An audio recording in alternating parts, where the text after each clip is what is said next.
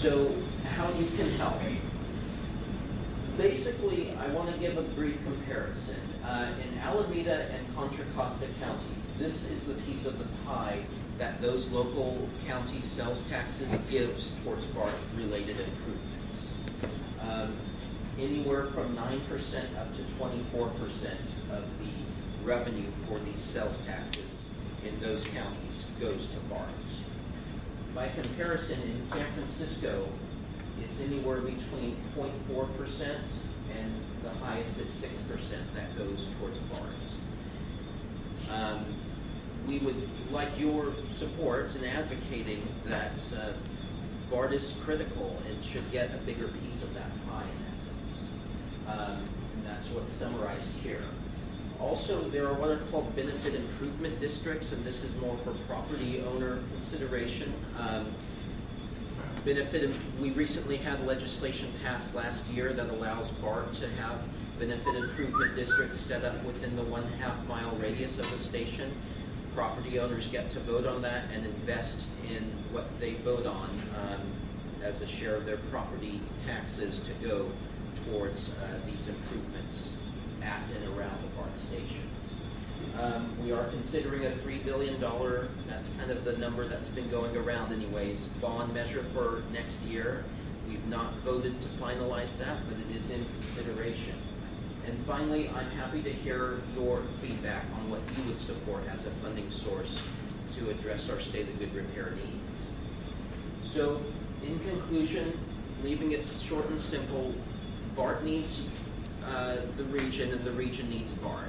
The economy of the region could not survive without BART. The, the road infrastructure simply could not serve the volume of uh, travelers without the support of BART. But BART needs the region too. BART cannot uh, survive without the support and the funding support from the population that uses it and relies on it. So I'm happy to answer any questions or receive any comments. I don't know if now's the time you want to facilitate Yeah. this, Michael, or, okay? So people can see their hands. Yes, certainly, Madam.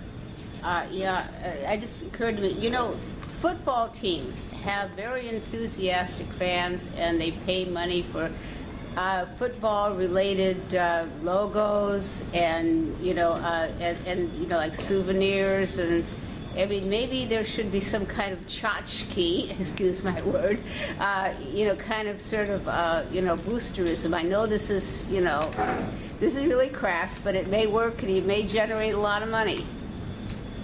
Um, So, I'm not sure I understood the suggestion, so that we would have someone or Uh, some kind of- actively, Um, uh, I'm sorry, I'm thinking maybe what uh, uh, I'm getting or what I'm hearing is like, uh, or something along these lines is, which I understand, is if Bart were to open a gift shop. Something along those lines, maybe. But there's also the part about, which she's also pointing out, is also very important, is every time we, because San Francisco is a main uh, thoroughfare, and every time we have a parade or any special event, uh, people ha can't use necessarily uh, public, uh, they have to use public transit to really get there um, on time without, you know, if you use your car, you're gonna be having more time for parking. Uh, one of the things that's happening, particularly down here in District Six, is we're losing all our parking lots to uh, development, uh, or park, parking structures, parking lots and structures. So, uh, uh, where do we park if we don't have places to park? So we have to think about where's, how do we keep our infrastructure going? And so, when uh, we had the Super Bowl, when we have all these different uh, uh, large things happening, they should be be thought of as there should be money cycled off of those events to uh, make uh, BART and other uh, transportation hubs uh, functioning because we have to supplement those uh, times. I, I think I understand the point. It's limited what we can do because it's a public transit system. Yes, but see, I give you an pays the same example. A good example of that is uh, the cable car. Okay. Um, it's, not used the same tier. Uh, it's a transit, it's a public transit, but it's also a tourist transit. And so they're actually jack up the prices there and actually have a kiosk there to. And uh, that price is consistent, right? Well, I don't know, I'm not a tourist, I don't go there. I just know though, that the, is. point being is, uh, you know, because they can buy a day pass versus a, uh, uh, an ongoing pass, so it's actually jacked up for the day pass or the weekend pass if renting here. So it's those different tiers of, um, so maybe Bart, we non-residents be paid more. So at BART, you can pay single ride, we also have high-value discount tickets. But, but also But we don't non-resident, discriminate based on something for non-residents. special non-residents. Well, people, No transit people visit. agency provides that, and we would Yeah. get sued if we did that. That's not allowed by law to Yeah. discriminate based on residency and non-residency in the public transit system. That's getting into the sticky territory. Yes. Your question right here. Okay. I have, just one question.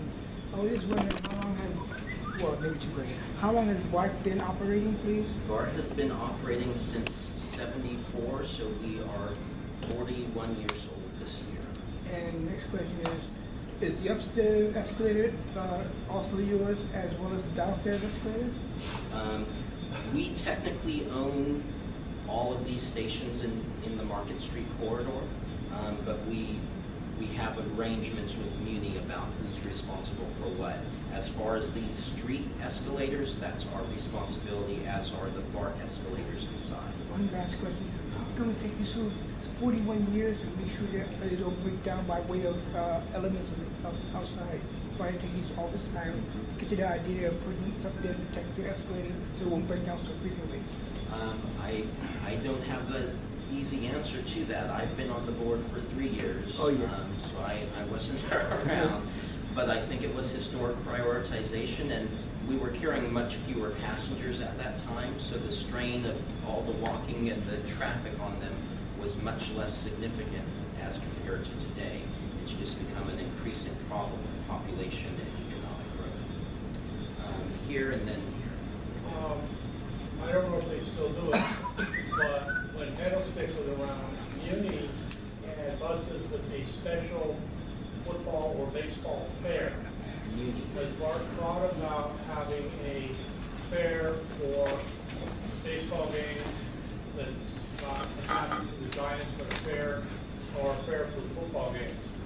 I know you're going to San Jose, and I mean, we hopefully someday may get to Santa Clara football stadium, um, and, um, but you do go to Oakland.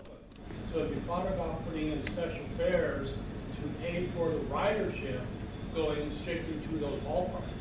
Um, No, and the reason why we, whereas buses are able to, they have the road network to work with, so they can implement special routes to serve special purposes and charge those routes exclusively. We don't have that. We have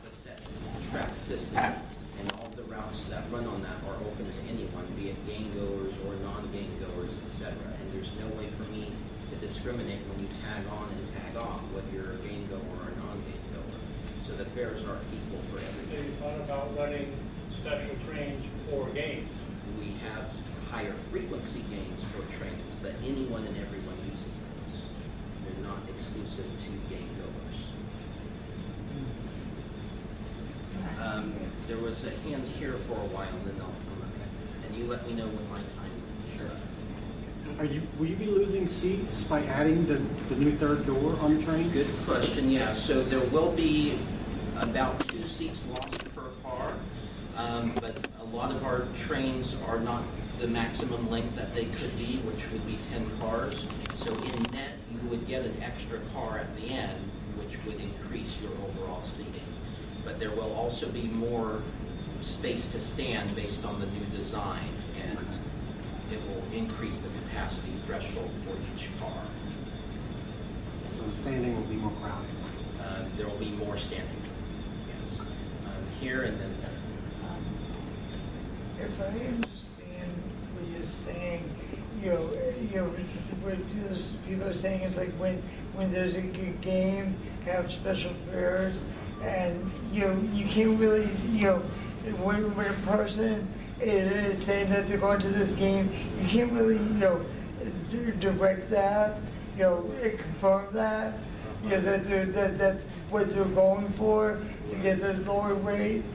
Um, you know, but at the same time, I, you know, because I remember, you know, like when Arnold Schwarzenegger was in office, you know, we had the crash, you know, the, the, you know, community prices were, you know, more than doubled in a few years. Um, you know, I, I think everything that you're saying is, is good, and if, if there is a valid measure on the, on the board, it's something I would definitely support, because I think that would save from having to raise, you know, raise prices yet again, which, that seems to be the, one thing that a lot of people have trouble with, um, especially like, you know, me, I'm on SSI, um, you know, I, I, you know, I, I'm not making, you know, hundred and fifty thousand dollars a year, you know. Um, So it's, I don't, I can't, you know, travel back and forth as much as I'd like to, but, you know, also the few times I have traveled, hasn't been too good because of the condition of the cars which I guess, you know, I've I've seen on the news, you know, that BART is planning on upgrading those, Yeah. and that's a good thing, and I think with that, and, you know, I think with that, it would, um, you know, I mean, I know I would certainly be going, you know, over to East Bay more so.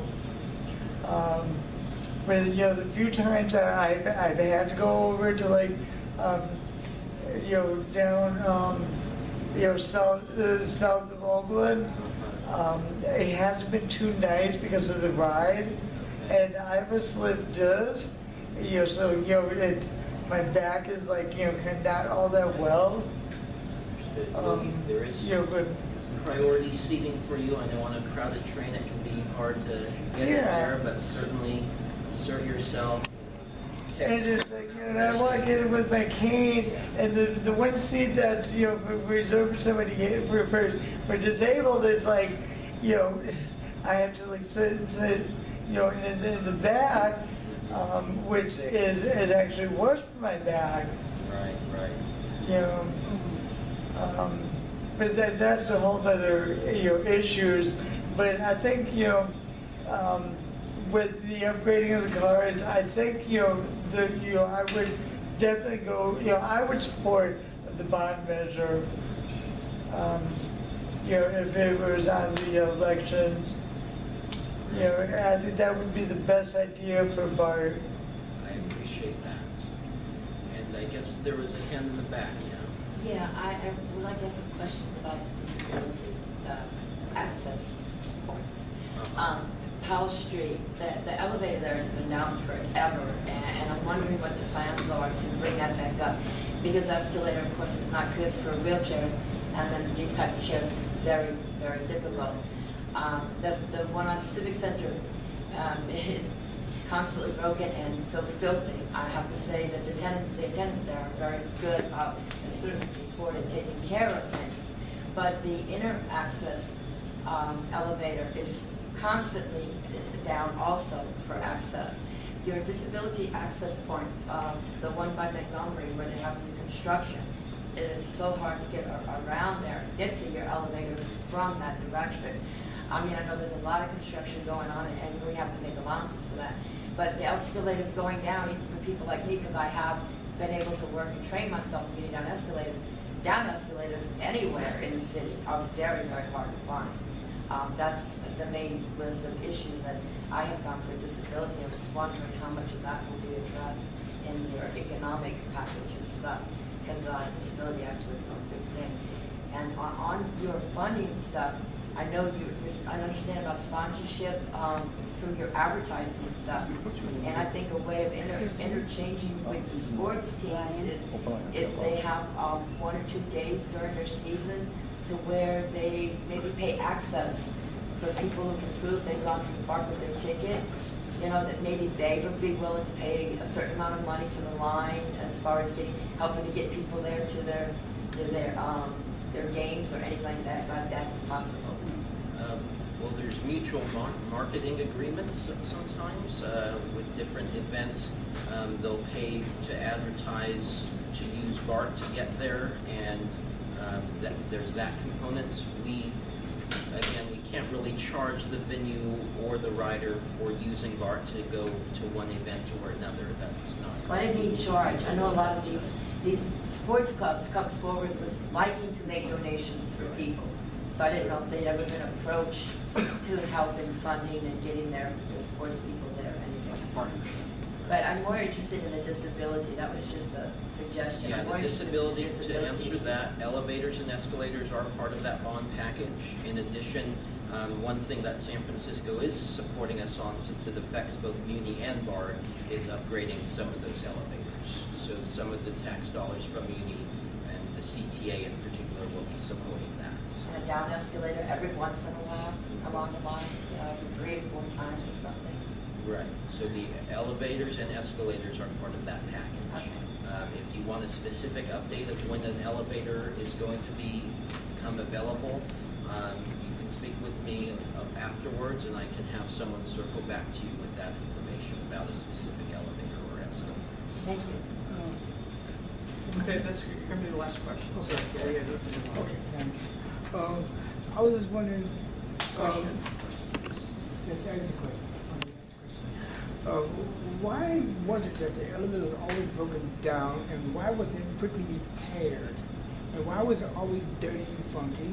And why was, you know, what, what was the reason for that? I mean, uh, you, you look, getting, getting bond money to help you get the thing together, right? Okay. Um, why was, why, why did it take this time for that to be and taken care of constantly? Because you do have a lot of disability people here. You do have a lot of people who are wheelchair and canes, whatever. They needed to use that. And why was that, why was it kept up there?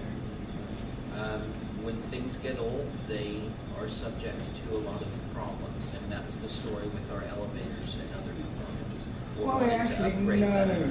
I don't accept that only because there was times you get, you were able to use it, when you get inside the elevator, and you- somebody, get Okay, their but business in there, supposed to be me. positive and. No, no, answer this is, this is positive because it's an honest question.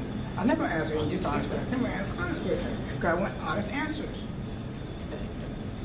Okay, so Then I guess you can judge me as being Oh, no, dishonest. thank you, thank you. At your own case, Go ahead sir. and run the record.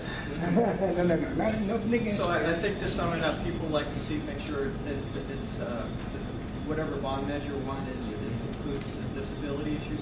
But I, my more concern is that, uh, that it, how it translate, who pays it off, if it ends up that the renters or, uh, through the property owners have to take part of the, uh, getting the money back or something like that. It's always the wording of whatever goes on the ballot.